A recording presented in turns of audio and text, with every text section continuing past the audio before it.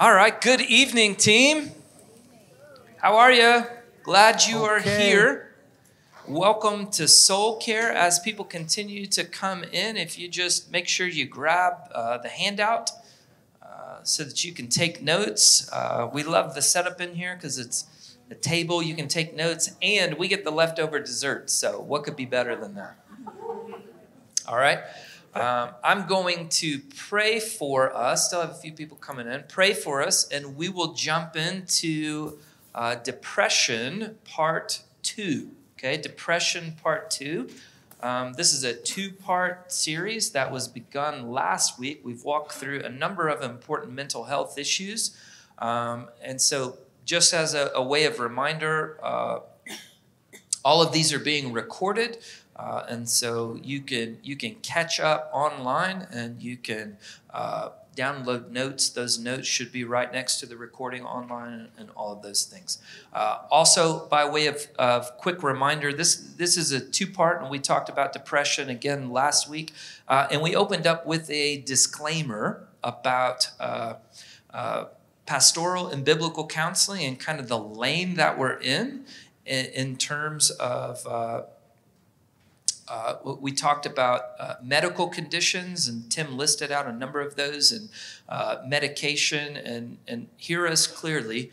Uh, keep consulting your medical professionals and keep taking your medication.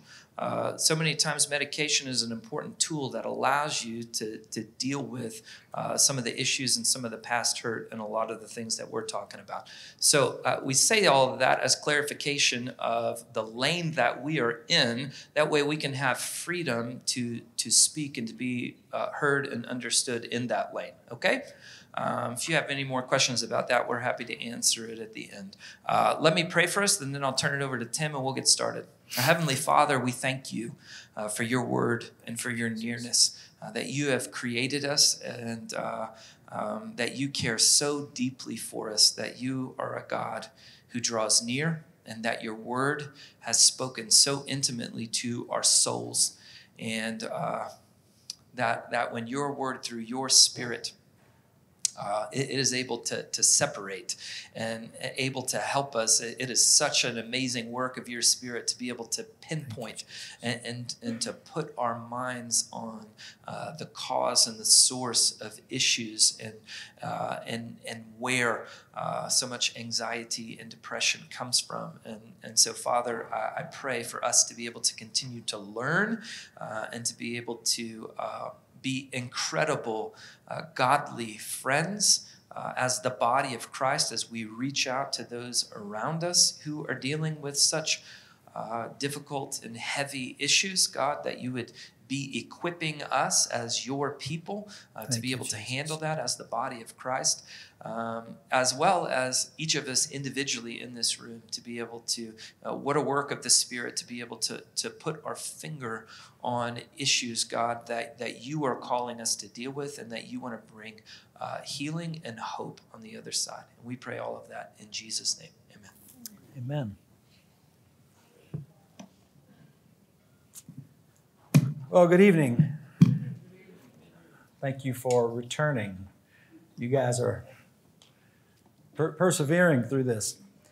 Um, I want to sort. I was thinking this afternoon about when I was in, in a very dark place, and Elaine and I we're, we're just young people. We don't know what we're doing, uh, but we we know Jesus and we know His Word. And I remember Elaine saying to me at one point, because we had no answers, we had we, we didn't know how to get out of that dark place, and she said, "You know, I don't understand." But I am going to stay right here, and we're going to figure this out together. God's going to show us, and He He sure did, and that I held on to that uh, for dear life. So I'm just so thankful. Uh, if if you are going through something and you have not reached out to someone who who you know cares about you deeply, you should do that because even though that person may not have the answers, the support and the camaraderie of being with someone walking through a difficult time is more than you could ever uh, know. The value of it is more than you would ever know. Okay, so let me review quickly what we what we covered last week. We said that depression is a feeling of hopelessness.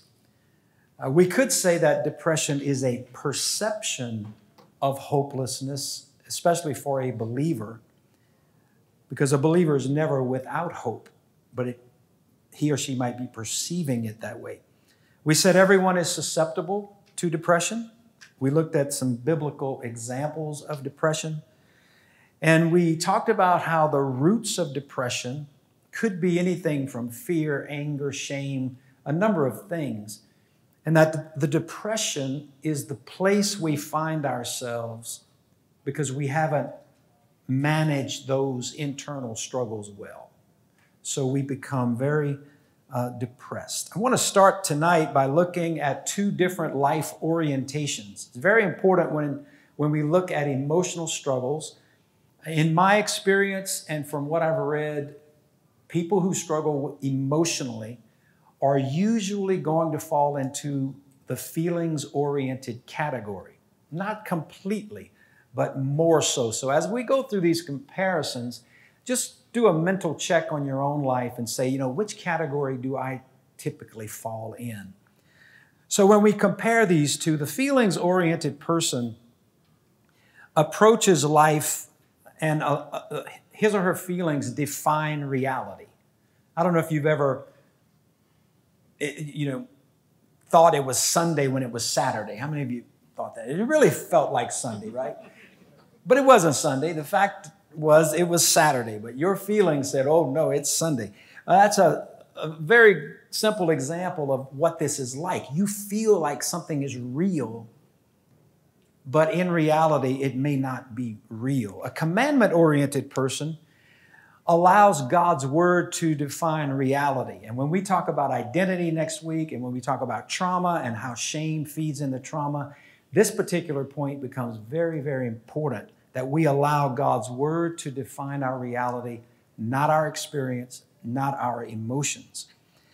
The feelings oriented person will allow their feelings to dictate their choices, whereas a uh, commandment oriented person will let God's word do that or obedience to God's word. So the feelings oriented person puts so much authority in their emotions that they, they really have a hard time denying, denying them. They really feel like they're doing something wrong if they deny what they're feeling. So it's very important as you are going through emotional struggles or if you're walking with someone who's going through emotional struggles. Uh, the commandment oriented person is going to uh, allow obedience to dictate his or her choices. So the reason I'm making this choice is not because I feel like making it, but because I know this is what God's word teaches me to do. So that's a faith choice. The feelings oriented person feels like their emotions have to be served. Again, they, there's a certain loyalty attached to their emotions, and they're very conflicted if you advise them to do something against their emotions. Whereas a feelings, I'm sorry, a commanded oriented person feels like, you know, regardless of how I feel, I have to serve God. That's my position. That's my desire. That's my motivation. A feelings oriented person is motivated, motivated by the worship of self, meaning, worship meaning the elevation of self. The, the big question for this person is what is best for me? What do I think is best for me? What's going to make this better for me? The commandment oriented person certainly wants to know what's better for them, but they are also thinking, okay, I am, uh, I'm worshiping God. I'm dedicated to the Lord, and I'm, I want to serve Him, uh, even if it costs me. The feelings oriented person seeks to please him or himself or herself. This means I, I want to please my desires. I want to comfort myself. It's, it's all about prioritizing self. And when you're in a survival space, then that seems to be the natural thing to do is to protect yourself or to bring some sense of relief to yourself.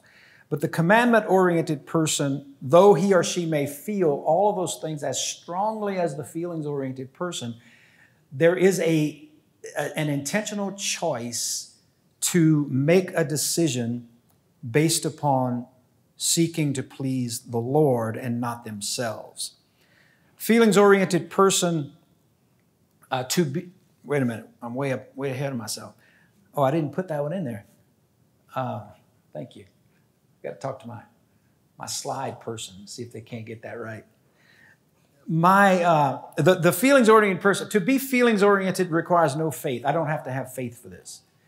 To be commandment oriented requires that I exercise a decision, my will to do what God is leading me or teaching me to do. Um, the feelings oriented person is carnally minded or earthly minded. It's all about what we can see and feel and touch and sense in our senses. Uh, the commandment oriented person is more spiritually minded, more eternally focused, wanting to align his or her life with the purposes of God. Now, it's a very simple comparison, and I want you to think about, you know, how do I normally function in life? Am I relying on my emotions, usually? or am I relying on the Word of God?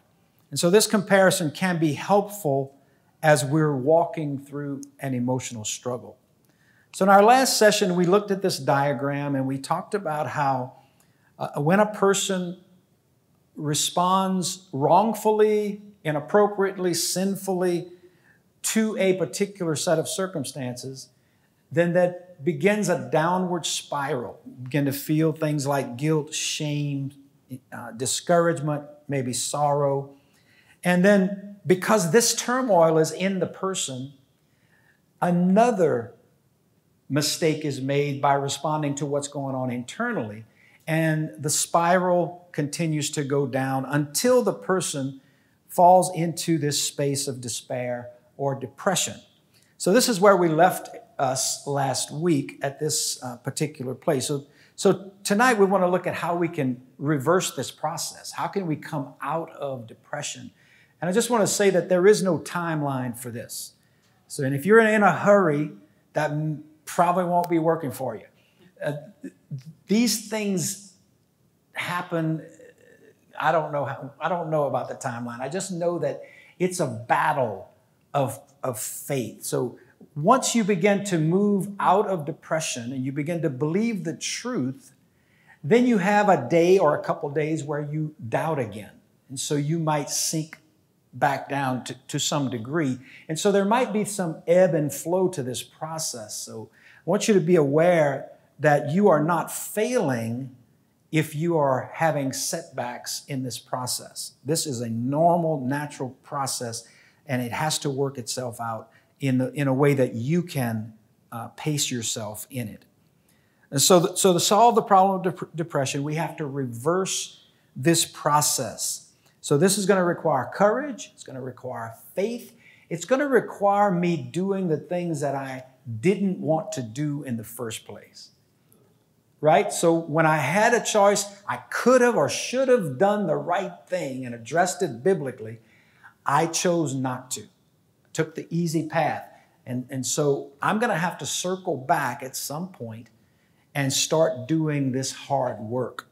Now, that's not good news to a person who is depressed and feeling really, really low, low energy, low emotionally, but that is going to have to take place. So let me repeat that depression is not necessarily a feeling as much as it is a position. So we are depressed and we need to come out of that depression. So, ideally, if we, we lived in a perfect world, a pers- perfect Christian Sunday school world, this is how uh, this process would work. Something happens, we process it through a lens of grace and faith through the Word of God. We're spiritually minded. We respond in a Christ like manner, which increases our hope, which strengthens up us, within, encourages us, and we are glorifying God through this process of making really good biblical obedient choices in the face of these circumstances. That's the ideal. This is what we're hoping for. This is what we're working toward to walk in the spirit so that this this could our lives can glorify God. So when a person is at this place of depression, hope has to be inserted or introduced. Now, let me just say hope seems to have the same DNA as faith. Now, faith is right now, hope is for the future. But the, the DNA, the quality of it is the same. So when we hope in God, we are actually believing that somehow, in some way, God's going to work this out. I don't, I may not know how that He's going to work that out, but I believe it, I know it, and I choose to trust Him to do that. That's, that's the place hope is inserted to where we begin to believe I can overcome these things. I can, I can have a better existence. I can walk in God's truth and in His peace. Lord, help me to do this. So once hope is embraced, the person is now in a much better position to make better choices, better decisions about what's happening internally. Because this is where the battle is. The battle is not in our circumstances. The battle is within us in the way we are thinking. It's what we're focusing on. That's, the, that's where the work has to be done. So the individual at some point needs to move from a feelings oriented posture over to a commandment oriented posture.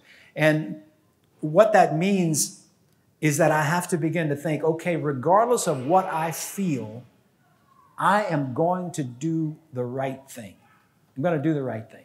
I'm going to take God at His word. That requires, again, faith and courage. Now, eventually, in this process, this de- depressed person will have to address the root of the depression, whatever is fueling it, whatever uh, brought them to this depressed state. What issue was mishandled in the first place? Or what was it that brought me to this place of depression? Uh, that is going to have to be revisited. So, depression, by definition, is really not the root problem. It is certainly a problem, it is certainly a consequence of the root problem.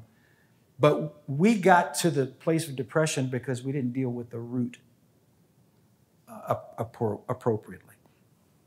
So the symptom cannot be addressed and with hopes of solving. In other words, I can't, I can't treat my depression, my sadness, in order to get beyond depression.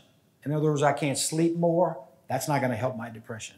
I can't eat more or eat less. That's not going to help my depression. I can't avoid people and places that won't that won't help my depression. I am going to have to face some things, right?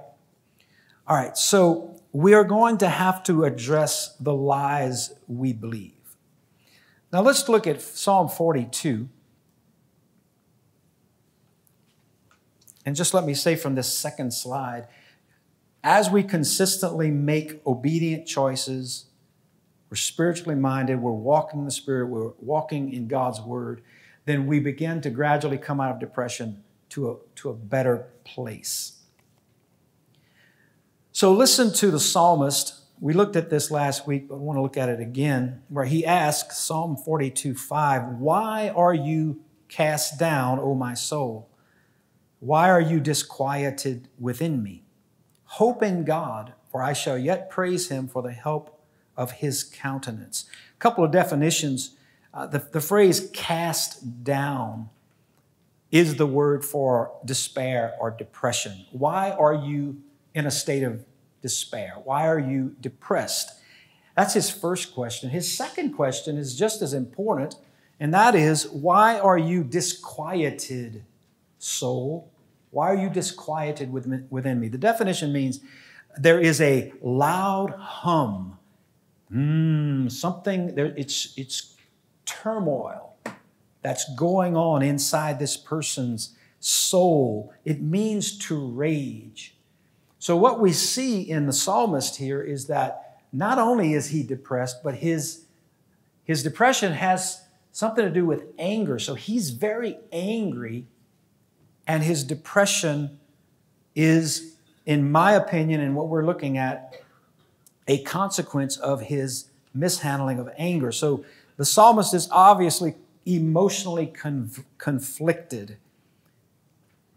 And so, we need to see how mishandling anger can certainly lead to depression. And in, in, in, extreme cases, anger can become so violent in a depressed person that they become either suicidal or homicidal.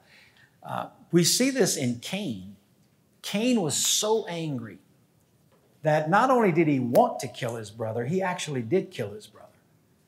And this anger in him was not managed, it was not addressed. Even when God said, Why has your countenance fallen? Why are, why are you so angry? He wouldn't hear it. He was overcome with this violent anger. So we have to be able to see how anger may be connected to depression. It's not always the case, but in some cases, it is an anger problem or a mishandling of anger. Um, and I, I said this last week that the conflict avoidant person is more likely to stuff anger because of a number of reasons, but, but because they don't deal with it appropriately, they don't look at it, they don't embrace it, they don't understand it, they don't communicate about it, they don't address the object of their anger, because sometimes that's necessary. They just stuff it, they absorb it but they smile. And they put on this, they play a role of the happy Christian, but inside they're dying and they're very angry. They're very upset. But some people, like myself, cannot identify it as anger. I remember thinking, I remember the Lord convicting me of anger, and I was thinking, well, I'm not angry. I'm not an angry person. I'm laid back until the Lord lifted the veil and I saw how ugly and violent my anger was. And I saw how, because I did not know how to manage anger, I was depressed a lot. Now, anger, I had, I had three primary contributors to my depression anger, fear, and shame. And that was a concoction that was overpowering to me. And only Jesus could come in and do something about that. I had no capacity to overcome that on my own. But in this case, in Psalm 42, we, we can see where anger is certainly connected to this depression. Now, no, notice again, when we look at this, notice what the psalmist is doing. He's saying, Why are you, who's he talking to? Why are you depressed, soul? Why are you so angry, soul? Put your hope in God. And so here we see some good self talk, some really good self talk. And for the depressed person, paying attention to self talk is very important if you're going to understand depression and overcome depression because as Paul David Tripp said, no one influences you more than you do because no one talks to you as much as you do. And whether you know it or not, you have recurring, repeated messages going on inside of you that you may not have ever articulated. And these messages are not very nice. In, in many cases, they are like bullies, like tyrants. So I, I recommend that people begin to pay attention to their self talk. Write it down. What are you saying to yourself, especially when you fail? What are you saying? Write that down. Say it out loud. Hear yourself say it. Because something in you will cringe when you hear it. Because you know that is an absolute lie. Why am I believing that? But here's the problem you believe it. you believe it. So you can't just say, oh, okay, I'm not going to believe that anymore. It's not that easy. These the loyalty that you have to your beliefs and the emotions that are attached to that it's a powerful combination. So it's going to take some very courageous steps of obedience to come out of that and to break free uh, of that kind of self-talk. Now counseling yourself is a very biblical concept. Let's look, just look at one example. This is psalm 103 you're probably familiar with it where David says, Bless the Lord, O my soul, and all that is within me, bless his holy name.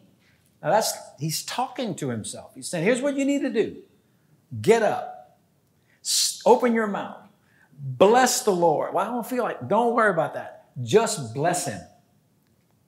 Make yourself do it, soul. Then he says this, verse 2 Bless the Lord, O my soul. Do not forget all his benefits now, I'm a firm believer that anytime the Bible says do this, it's because we have the tendency to not do that. And every time the Bible says don't do this, it's because we have the tendency to do that. So, so when we hear don't forget all his benefits, guess what we are likely to do?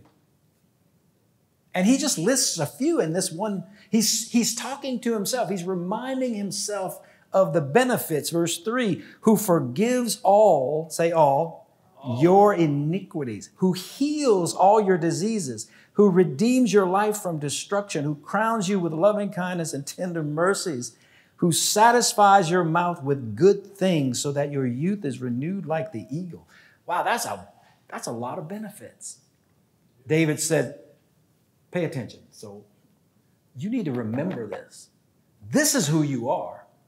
This is what's real. This is what's true. There's a situation in 1 Samuel 30 where the Amalekites had destroyed the city of Ziklag and took David's wives captive. And the text says that David wept until he had no more power to weep. Now, that's a low place. But then we read this.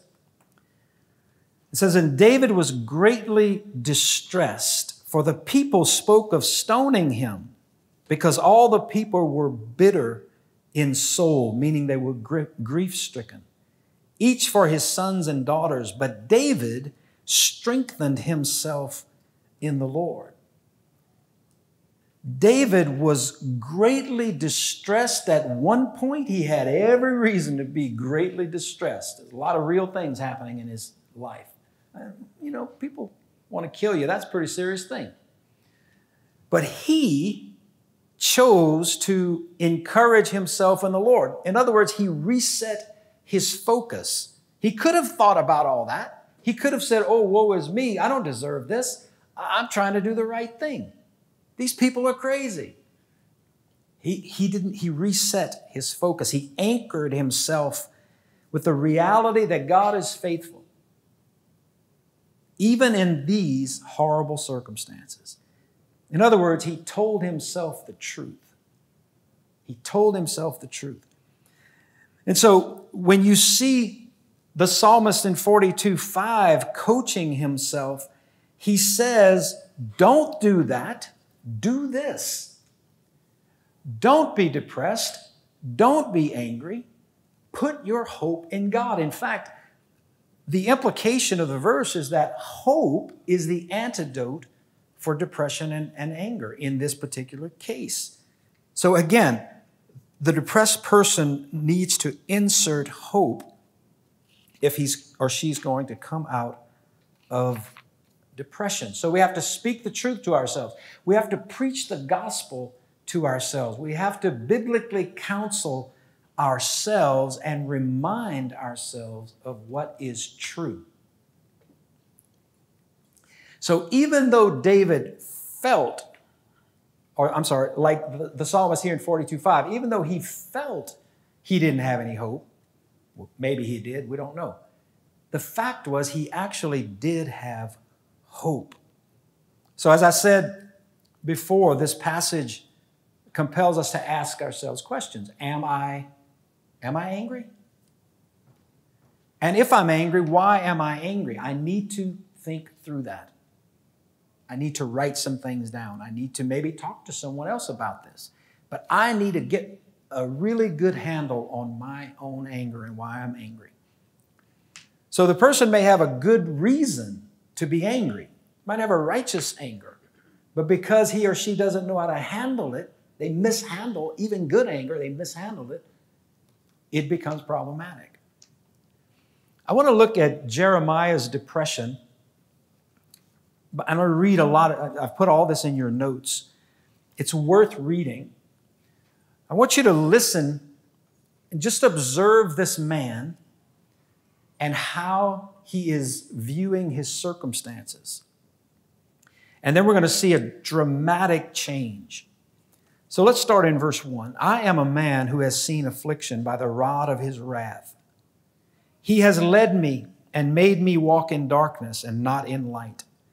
Surely he, here's what I want you to do I want you to draw a circle around. Every time you, I read the word he, I want you to draw a circle around it.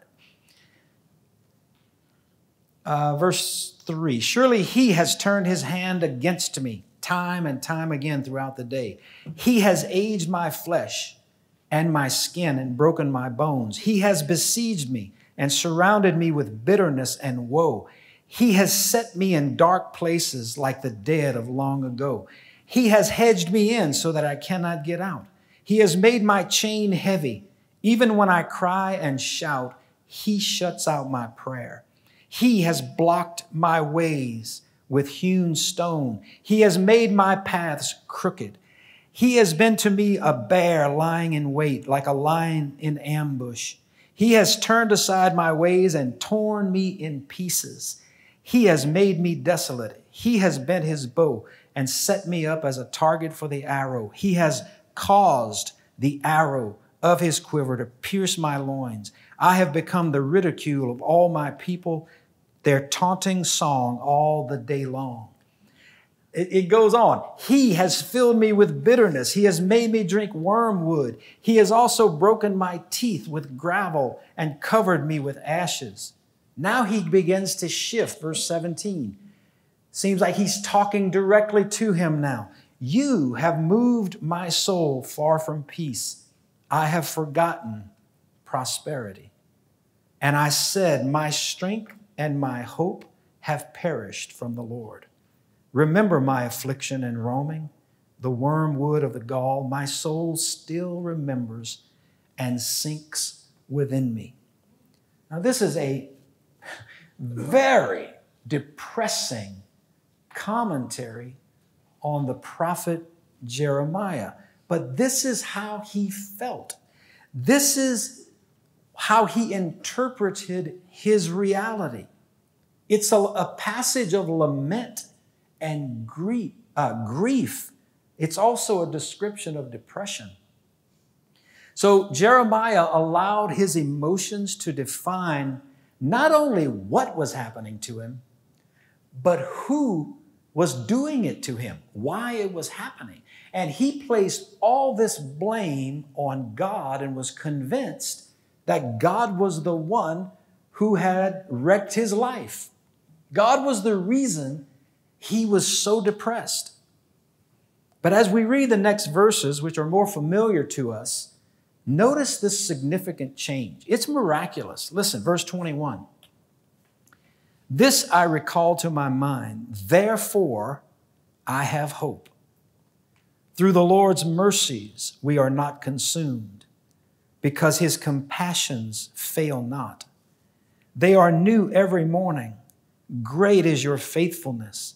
The Lord is my portion, says my soul. Therefore, I hope in him. The Lord is good to those who wait for him, to the soul who seeks him. It is good that one should hope and wait quietly for the salvation of the Lord. And as I read this, I'm thinking, what? Where's that other guy? Like, this is not the same guy, is it? The same guy who said, He has removed my strength and my hope. They've perished, they're gone. My hope is gone. Now, the Lord is good to those who wait for Him. He is my hope. I should hope in Him. But what we see is somehow a change of focus, a change in worldview, a change in the lens of perception, so that now Jeremiah is contradicting what he said earlier. He's absolutely contradicting himself. Now he's saying, wait a minute, when I think about it, when I recall what I actually know to be true, then I have hope. The Lord is merciful. The Lord is good. In fact, the reason I'm still alive is because all of that that I just described hasn't killed me. It's because He's merciful. It's because He's good. He's my portion. And you can almost feel Jeremiah's faith increasing, his hope increasing. It's like, wait a minute, that's not, that's not true. That's not who God is.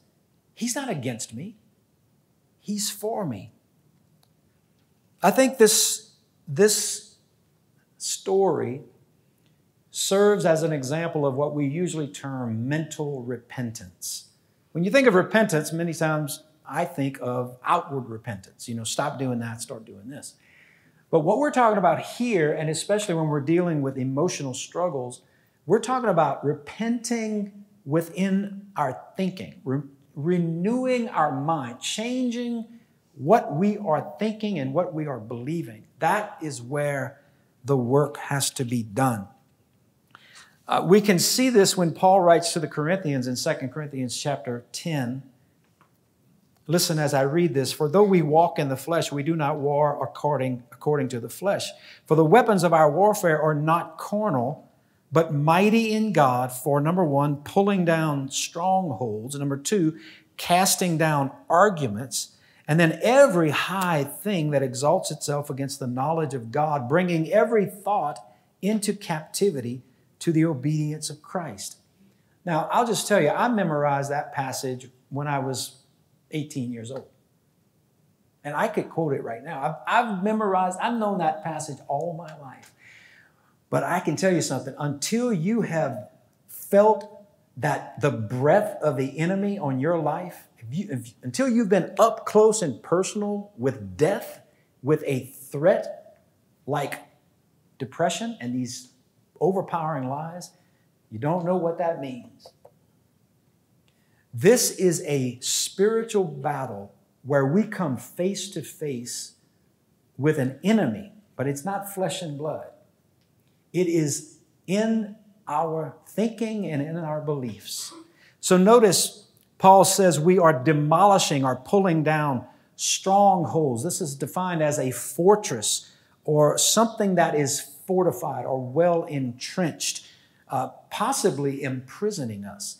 And so basic, basically, what, what I think Paul is saying is we have been imprisoned by consistently believing certain things to where it has been fortified we are well entrenched in these ways of thinking and we are held by them. Paul says we've got to demolish that. That's spiritual warfare. He goes on to say, casting down, same word, demolishing arguments. Now, this word is imaginations or reasoning. The New Living uh, translates this strongholds of human reasoning. And so I can imagine Jeremiah reasoning like Gideon did, the Lord is with you. Oh, yeah? Well, if it doesn't make sense, look at my circumstances. It doesn't compute. It's not reasonable that God is with me because look at my circumstances. That is the type of thinking Paul is referring to. That we have reasoned ourselves with human reason. We have, some people have really just kind of exited the faith with human reasoning. It's a powerful opponent. And Paul says we have got to bring that down. And then he says, really, not just arguments and imaginations and strongholds, everything, anything that exalts itself against the knowledge of God. Now, I want you to notice this line. What Paul is saying is anything that exalts itself on top of the line, above the knowledge of God, anything, doesn't matter. Could be your selfishness, could be the enemy's lie, doesn't matter what it is. Anything that exalts itself above the knowledge of God has to be brought under submission or obedience to Christ. Now, I can't tell you what that is for you, and you probably can't tell me what that is for me, but the Holy Spirit knows exactly what I have allowed to supersede God's knowledge, to usurp His authority, to be in a higher position than the Word of God. Whatever that is, Paul says, that has to come down. And you are the one who has to do it. Nobody's coming to rescue you. I can tell you that is a very discouraging statement, but that is a hope filled reality. Because once you realize, oh, nobody's coming to rescue me, and God is with me, and I have choices, I begin to pray, Lord, strengthen me to do the right thing. Strengthen me to obey your word, to look those lies right in the face and say, You're, You've got to come under obedience to God. That is the spiritual warfare component of these types of struggles. Now, I'm very, I want to be very clear. This is not demonic. Depression is not demonic. That's not what we're talking about. But when it comes to addressing these lies and these strongholds in our life that we have believed and based our lives on for maybe decades, that battle is very intense, very spiritual, and the opponent does not want you to be free from that fortress that you've been in for many years. He is going to do everything he can to strengthen those lies, and you're going to have to, in faith, believe what God has said. But here's the thing we don't even have to do that by ourselves. When I said nobody's coming to rescue us, somebody's already come to rescue us. Jesus is with you, He is present in your struggle. Now, I've said before that feelings are not dependable, uh, they can misrepresent reality. This is a hard lesson to learn for a feelings oriented person, but it's a lesson that must be learned. I think this is why we're taught in Scripture to walk by faith and not by sight or by our senses. We know that feelings are connected to what we believe, and many times a person is not really aware of what they believe. We act on our beliefs. Um, I've said so many times, you know, Paul said, The just shall live by faith.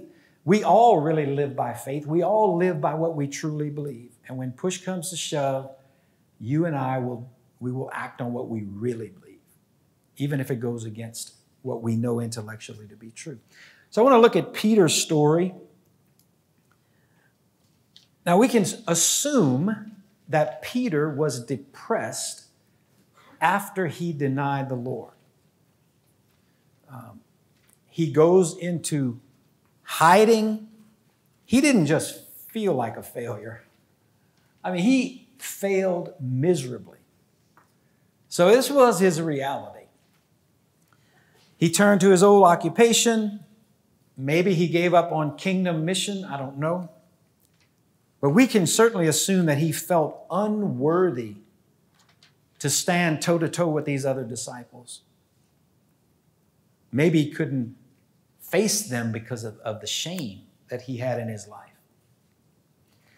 But I want us to notice how Jesus restores him in John's gospel. You know the scene. They're out fishing, and Jesus appears on the beach. He cooks them breakfast. They gather together. Peter says, "Who? That's the Lord." They, I mean, it's a big, exciting event, and and Jesus is present. Now, note this is not the first time that Peter has seen Jesus after the resurrection. He's seen him before, but they never talked about this. But this morning is going to be a little different. So they're having breakfast. I'm sure Peter's feeling like, oh man, I'm feeling like I'm being, I'm one of the guys again. And Jesus brings up the subject Peter, do you love me? I can, I can feel Peter cringing on the inside. Like, seriously? Like, you want to bring that up here? Like, I, I don't want to talk about that. I, I want that.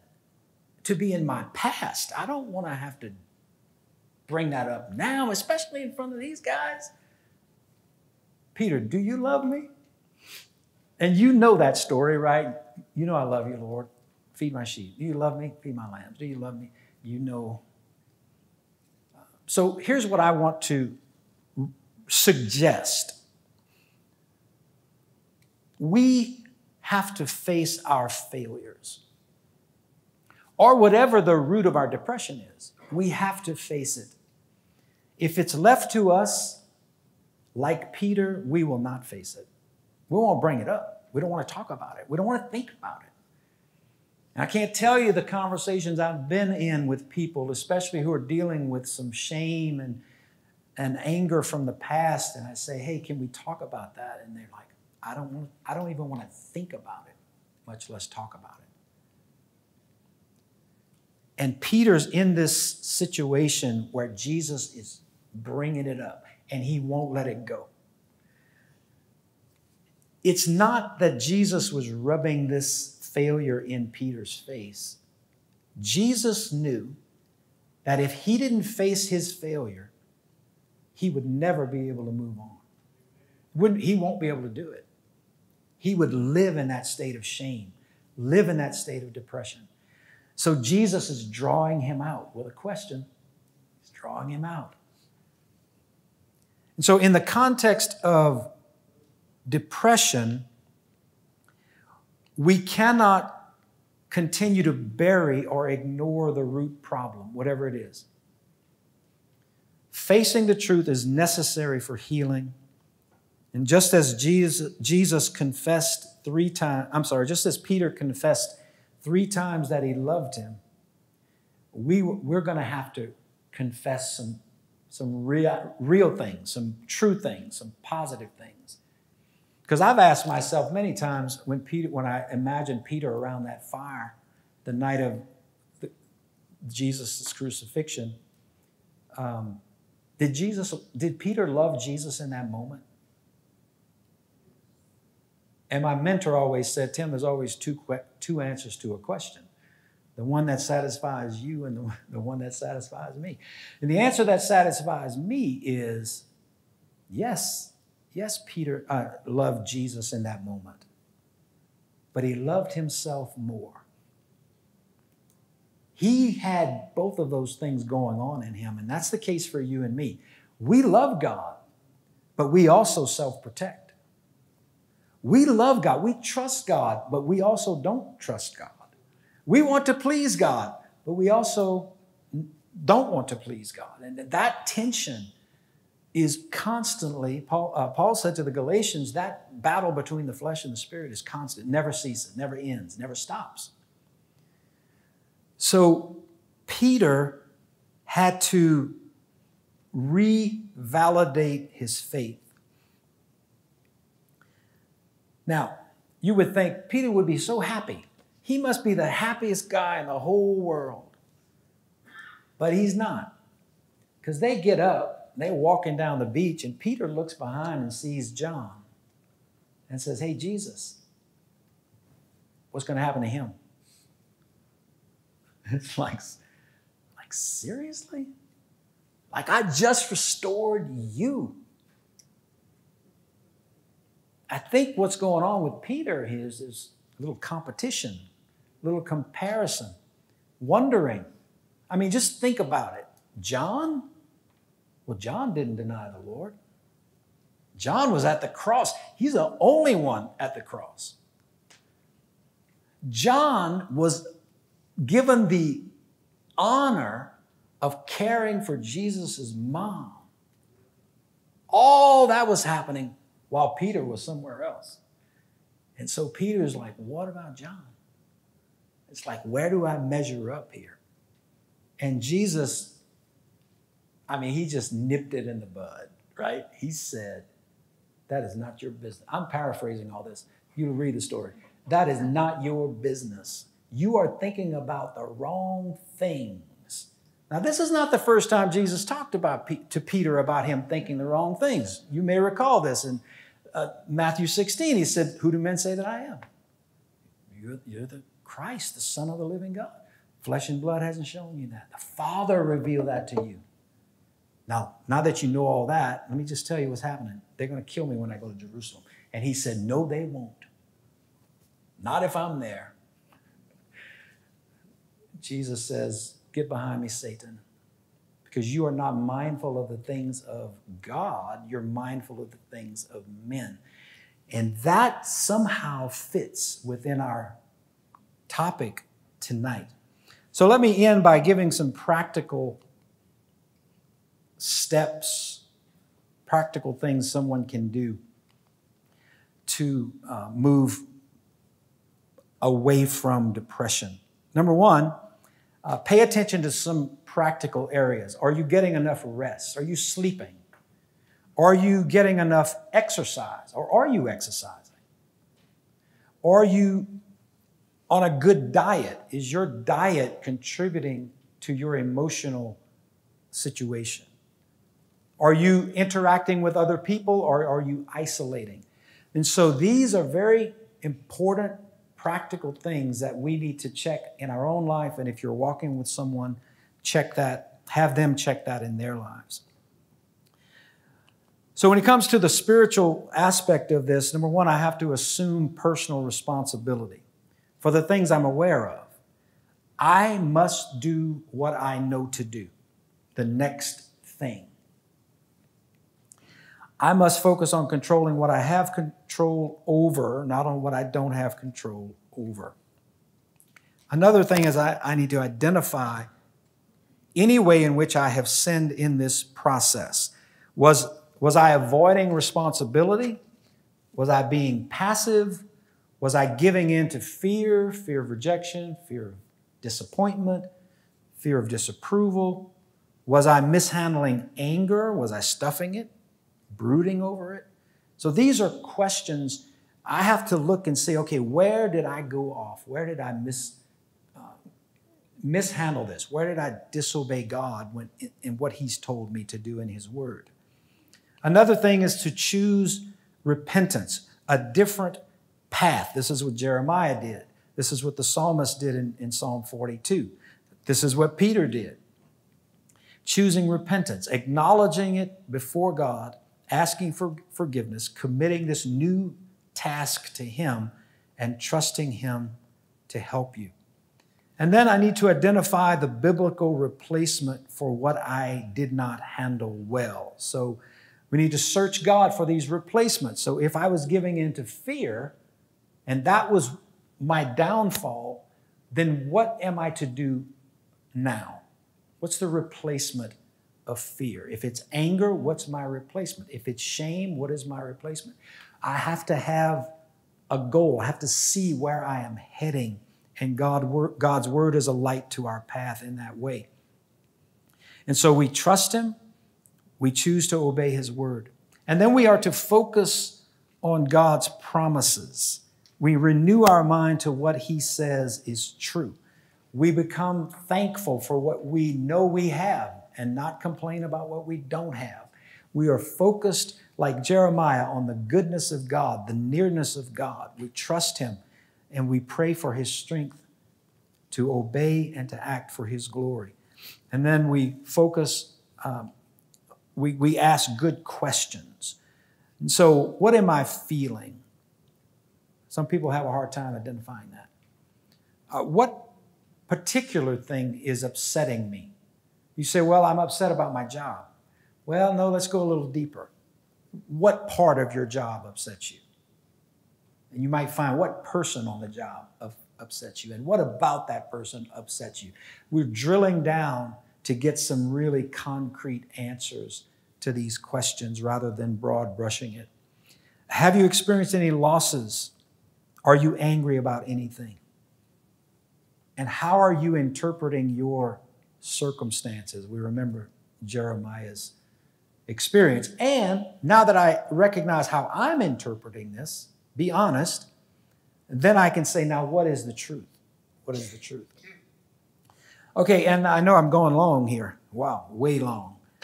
Uh, but then notice this little chart. This is just a simple exercise that you or someone can do where you list on the left side of the column what it is you are feeling or what you are perceiving or how you're interpreting reality and be gut level honest about this. Don't use your Sunday school brain. Use your true gut honesty to say, I feel God has forsaken me. That's what I really believe is happening. And write that down. And then look for the truth in God's word to counter that or to replace that. And then I've listed just a few renewing the mind passages for you. These are all related to uh, depression and how to manage depression. So I would recommend you look through those if you are um, in that place where you need to move out of depression. Let me pray for you before um, Jason comes. Father, thank you for this opportunity. You know the complications that we face. You know the ignorance that is in us. You know how we need you, Lord, to hold our hand and to lead us. So we pray for that. In Jesus' name, amen. Mm. Mm. Went long, went way long. No, no, no, no. Huh? The more you talk, I cut less, into your time. The less I got to talk. no, it was good. It was great. that was Mike too. No, it was Paul. Okay. Um, a couple quick points of, of, of clarity. Um, I, I think I understood you correctly. I know we gave an example at the beginning of a sinful choice that led to depression, but then as as we kind of walk through it, we uh, we noticed uh, a number of other emotions uh, that are tied up in there that may not necessarily be tied to sin, uh, there was there was fear. Uh, there was some undealt with uh, maybe some circumstances that had applied to us, and then we ended up believing lies as a result of that, and all of that get gets mixed up in there. Yeah. So, would I be correct in saying that we, we wouldn't say that uh, all depression is a, is a result of sin, but rather right. it, it, most of the time it, it's it's and and I I would also just continue and say like like I think even the sin that we've done itself, most often, what has led to the depression are the lies that we're believing that's wrapped up in that in terms of where our forgiveness is, where our identity is, and all of those things. Yeah, and I would say yes to that question. When you zoom in, though, um, I disobeyed God's word, but I didn't know I was disobeying God's word. It's like breaking the law and you don't know that, that the law is on the books. So I was living out of my own resources. So, in that sense, I mean, you could split hairs on that. That would be, in a sense, sinful because I wasn't trusting God. But not in the sense that I know God wants me to do that and I'm not going to do it. I'm just not going to do it. So it's almost like a omission yeah. subtle a subtle form. Yeah, but the, the, the practical implications of that is, is, in a counseling situation and yes. how how you address individuals versus uh, looking them right in the eyes and go, hey, let's talk about where you've sinned, versus yeah. uh, uh, uh, being sensitive and and like you said, hey, let let's write down when that darkness comes. Let's write that down so we can name it and and then we can begin to address those that darkness with the truth of God's word. And yes, theologically, we would both say, yeah, yeah, that, that's a sin of omission and commission, right. Uh, right? That sort of deal. But in, in terms of of how we deal and how we counsel with people. Uh, so I, I, just wanted to bring clarity to that because in our initial example, uh, certainly our own sin can lead us to depression, and that's the cycle that we went through. Uh, but I just wanted to point out uh, that we're not saying that all sin is, uh, all depression is a result of sin. Most often, it, it is it is a result of the lies that we are believing that's wrapped up in all of that. Okay. Um, great. Uh, I, I, continue to love uh, your your press on this issue and repeated examples um, because. You illustratively said, All right, here is the line, and, and no one is coming to help you. You're going to have to deal with this. um, in, in where we're placing our values and what we're believing, um, and no one's coming to help you. But then we circled around and said, well, yeah, Jesus has come to help you, and he is help. Um, and that's what these are examples of. But Jesus is going to make you deal with what you're actually believing. And so oftentimes, when I've counseled, and uh, right when when when you open up those deepest, darkest parts uh, to me, and you say, "I've been praying that God would take this away," um, and and knowing that yes, that's an earnest prayer, uh, but in all sincerity, if if the Lord has has has us at this spot, guys, most often He doesn't just poof take things away. He makes us deal with them and and deal with the, the lies and the hurt that we're believing and then answer that with scripture. And so, uh, yeah, the, the question would be yes, how does Jesus help us? Yes, he is our helper, but how does he help us? That's what I was scribbling in my notes is like, mm-hmm. yes, that's that's exactly right. It's it's right there in that. Jesus doesn't, uh, I mean, he can, okay, but uh, man, in the in the ebb and flow of life, he doesn't just wave a magic wand and make things go away. And, and that is so much a part of this, this mental health wrestling that we do um, in saying, man, I've been praying to God, but it hasn't just disappeared. Um, so. And let me just say the, the reason I pressed that part, nobody's coming to rescue, I've talked to so many people who they have a victim mentality and they feel like I can't do any. Like, why do you want me to do something? I need somebody to help me. I either need, you know, medical help or I need you to help me. Some can't you help me? And that feeling of I'm, I don't have any choice here. I need somebody to do it for me. And I think what what we're stressing is when we God helps us by instructing us and as he, he strengthens us to obey him as we obey him, he blesses that and it moves us toward freedom. Yeah, it's it's funny that I referenced uh, Judges six in in Gideon tonight because uh, there was a particular moment in my life when uh, the Lord used that passage uh, very instructively because uh, uh, what you realize about Gideon in Judges six, remember he's in the wine press and he's afraid. Uh, and the Lord comes and reveals himself, right? Causes fire to come out of a rock. The angel of the Lord was there. You know what the next thing the angel of the Lord told him to do? Now go tear down the altar in your hometown. Uh, that's that's the, the false altar to the uh, to the Asherah and to Baal. All right, so uh, the, God showed up, but then God told him to go do something that was really scary okay? Uh, for someone that's hiding in a wine press to say the next thing to do is tear down the altar in your hometown. And, and as the story progresses, it's the same thing. It's right, your army's too big, let's make it smaller. Your army's still too big, let's make it smaller. All right, now take this 300 and go against 135,000.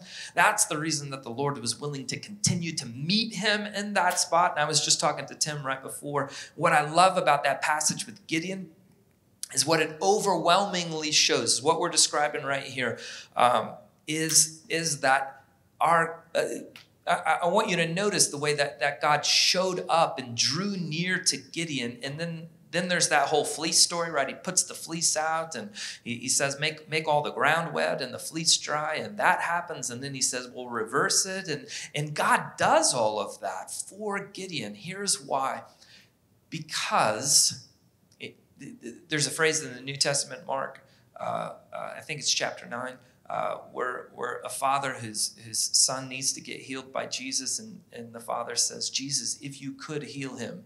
And, and Jesus replies, Could? Like, you got to believe that I can. And the father says, I believe, help my unbelief.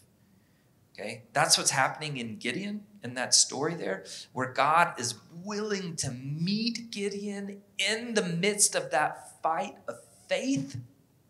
And God is willing to encourage his faith, but he still makes Gideon takes those scary steps of faith. Okay? right? So the way that God showed up was in the fleece or in causing fire to come out of a rock. The way that God didn't show up was just poof, make 135,000 people go away, right? There was still a battle, all right? So we've said all that to say, like, like the Lord meets us in those moments of faith because He does want to give you the victory, but it's in addressing the issues, not in just poof, make it all go away. All right, Tim, I've taken up all our time now. Did my best. All right. Uh, any quick questions from the floor? We do have two minutes. I don't even know if I want to call on you now, Paul.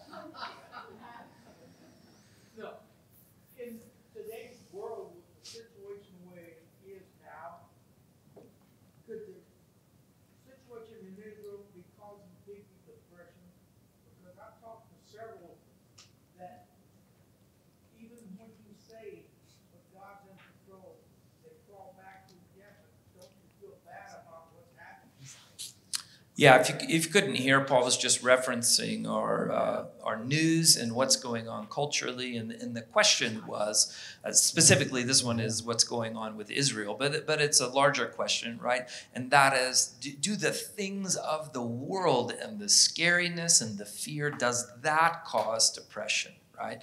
Uh, and I think the answer in everything that we're pressing into is yes. How how we are addressing uh, fears and uh, how, how, I mean, there are a million things, right, that make us fearful in terms of the economy, in terms of, uh, right, we just went through a pandemic and so many uh, uh, things were turned upside down. And when you look at all the statistics, guys, of, of mental health crisis that we are in the midst of, um, we saw the statistic last week, right? And that was pre pandemic in the United States, it was like 8% uh, had uh, depression. Uh, and through uh, COVID on the other side, it, it, rose to like 25%. And then it's, it's gone nothing but continued to go up since then uh, to where now the current stat is even on the other side of the pandemic, it's at like 33%. We're talking about one in every three Americans is reaching the point of clinical depression where they have entered into this cycle. And so much of it has to do with fear, anxiety, and believing lies and how we handle believing those lies.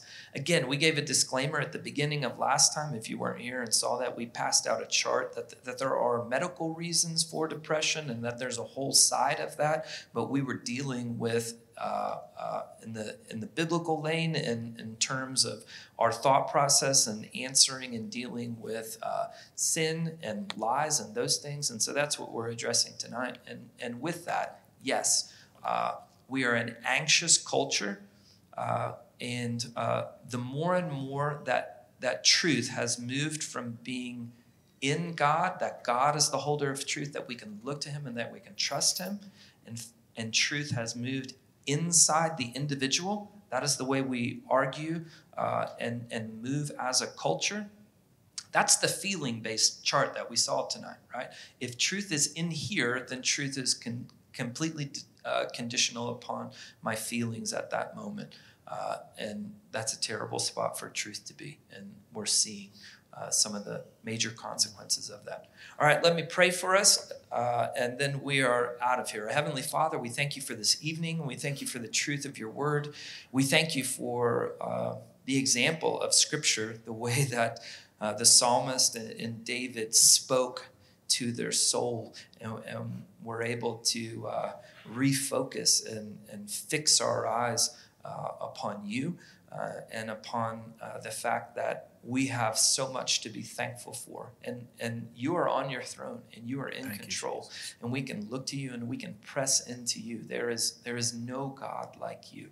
Mm. There is no one who cares for our soul like Thank you. You are near to us. In the midst of the fight of faith, you are near to us. You even love us enough to cause us to walk through that fight of faith, God to be able to see and to know you and your nearness. We pray all of that in Jesus' name. Amen. Amen.